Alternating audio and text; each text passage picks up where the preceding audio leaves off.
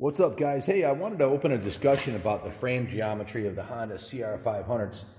This one right here is a 1997, and you can see the, this particular weld comes down the right here and comes back up, and it has a flat stock underneath it. Um, looks pretty much the same as the 89, all right?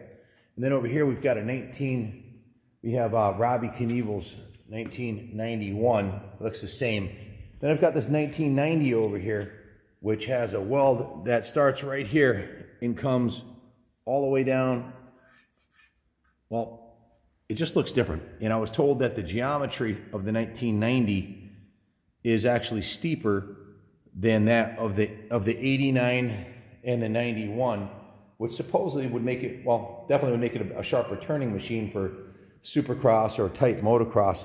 This is a 1990 frame that just was dropped off here today that um, obviously needs a total restoration. It's filthy, but um, that's not what, I'm concerned about or, or, or, wanted to open the discussion about the frame, the way the frame is actually the, the uh, rake and trail and uh, steering stem geometry. I, I was told is actually a little bit steeper. Um, what are your thoughts?